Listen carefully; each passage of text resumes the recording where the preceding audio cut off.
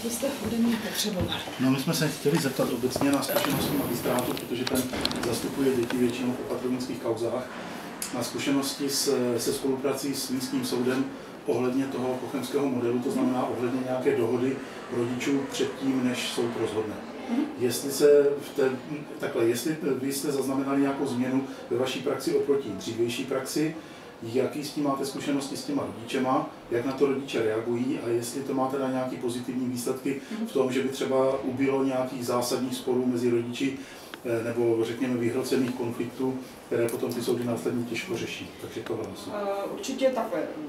Nevím, jak sledujete celou tu situaci v oblasti sociálně právní ochrany. Ten systém prochází celou transformací a v podstatě, dá se říct, trend je takový, že Eh, vlastně se rozlišují dvě role ospodu.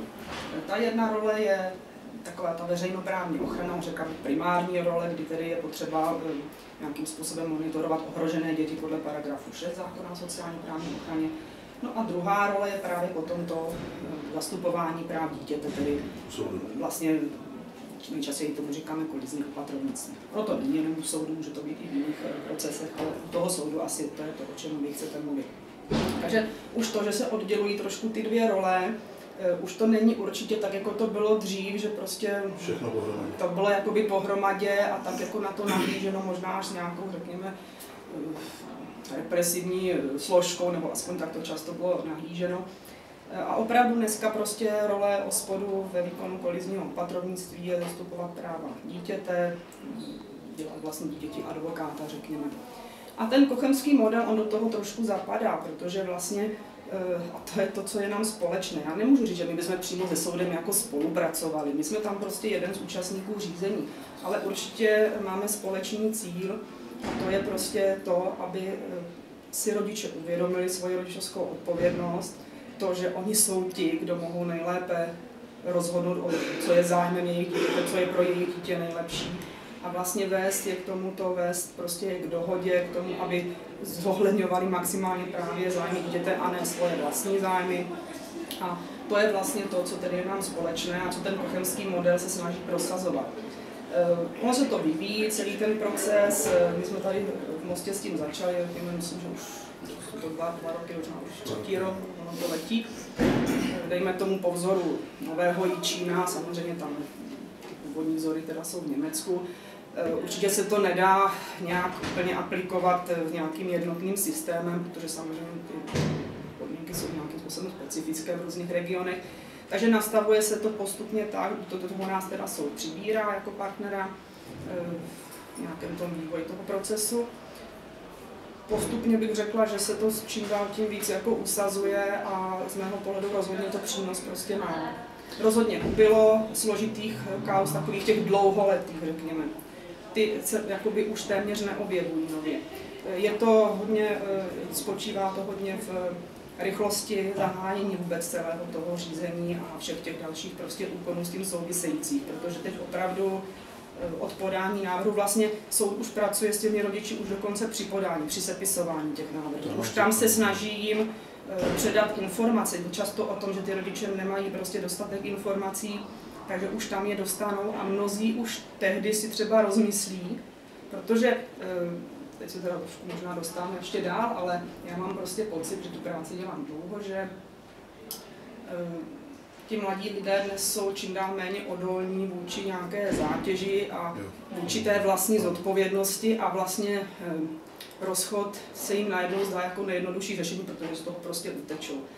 A ono někdy, když se s nimi prostě trošku pracuje, tak oni třeba přijdou na to, že vlastně ten eh, důvod byl třeba malicherný a podobně. Takže už říkám, už při sepisování návrhů na soudě se s nimi pracuje. Samozřejmě pokud přijdou pro poradenství před podáním návrhu k nám, dostanou jako podobné informace od nás, aby se ještě pokusili eh, prostě nějaké kroky podniknout k tomu, aby prostě jejich dítě mohlo vyrůstat samozřejmě v rodině, což je teda primární cíl, cíl všech institucí, které se zabývají dětmi.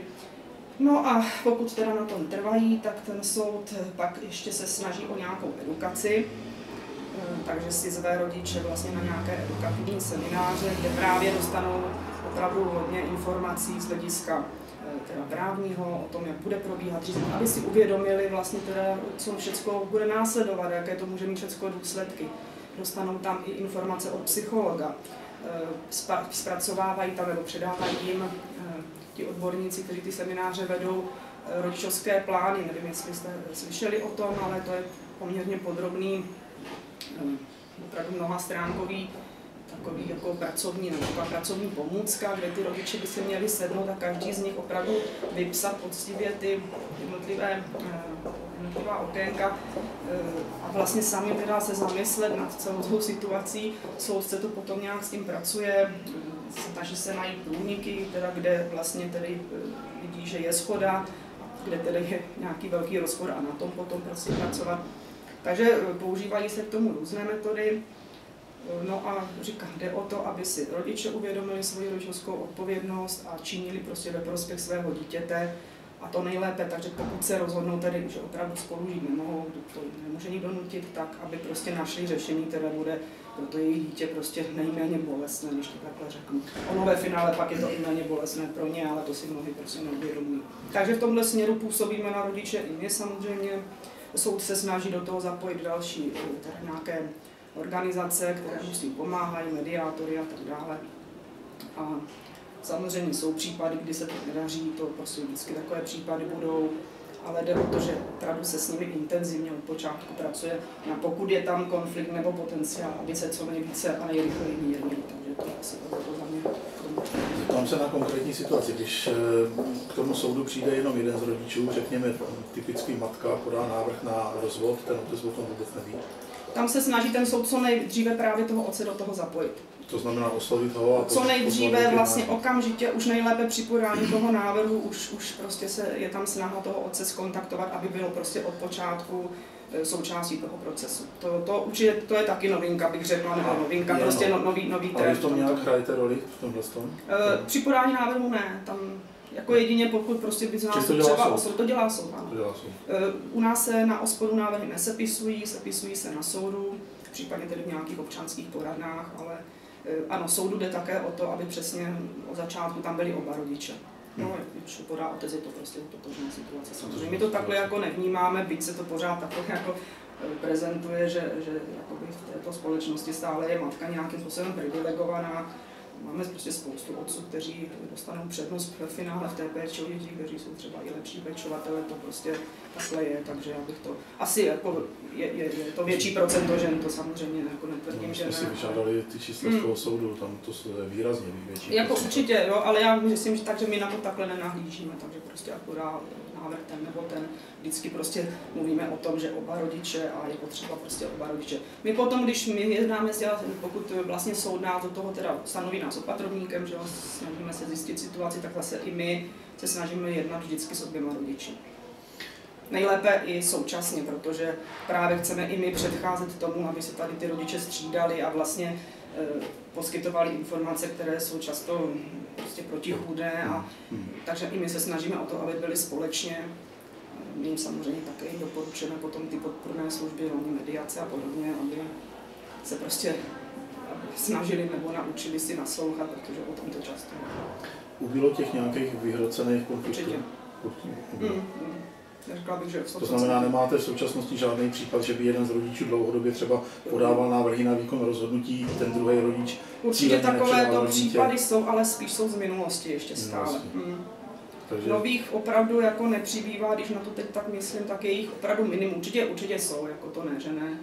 Asi, asi vždycky prostě se takový případ, asi se tomu nedá prostě úplně zabránit, ale ten přístup prostě i takovýmhle rodičům je stejný. Bohužel někdy někdy samozřejmě se ten konflikt dostane až někam do, do takové destrukce, kde už je to všechno zahráno a pak se s ním opravdu strašně jako těžce, těžce pracuje. Já sama jsem mediátor, takže vím, vím, o čem mluvím. Eh, někdy už potom opravdu je to složitý a nezbyde, než prostě to fakt rozhodnout soudně, ale, ale to jako nikdy, nikdy neuspokojí všechny strany, když to takhle řeknu, prostě se rozhodnutí vždycky hmm. je na úkor nějaké strany. Máte nějaké zkušenosti se spoluprací s tím Združením Mosty? Združení Mosty právě je zapojeno v té, eh, v, tom, v té přímé spolupráci se soudem, ale i my tam někdy posíláme naše klienty, oni se snaží eh, jakoby aktuálně eh, reflektovat potřeby, takže oni právě, že těch služeb tady nebylo, nebylo, nebyla příliš velká nabídka v minulosti, mediačních, terapeutických, rodině terapeutických. A oni to vlastně nabízejí, takže je to vlastně teď zatím jako v podstatě jediné zařízení, které, které to, A oni tady mají někde kancelář? Ano, ano, mají tady v centru města. A mohli bychom se s nimi spojit, případně máte na něj nějaký kontakt? Eh, Odrazila se tahle pozitivní situace nějak na těch dětech, o kterých se to týká? To znamená, že by třeba měli méně psychických problémů. Víte co, to se, to se strašně těžko samozřejmě mapuje tohle, že jo, to vypadá Tak váš pocit?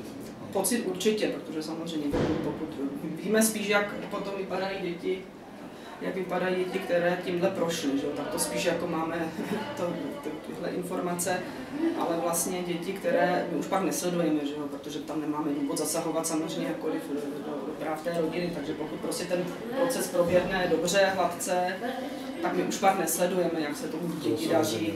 To, to už prostě Takže dá se říct, že- kompetence, ale, ale jako když to takhle vezmu, určitě jako školy třeba nedávají nějaké zpětné vazby, že by nějak se zvyšoval třeba počet dětí. Dalo by se říct, že to je určitá prevence syndromu zavrženého rodiče, že se teda u těch dětí Tak to nevyskytuje. to nepochybně. To nepochybně.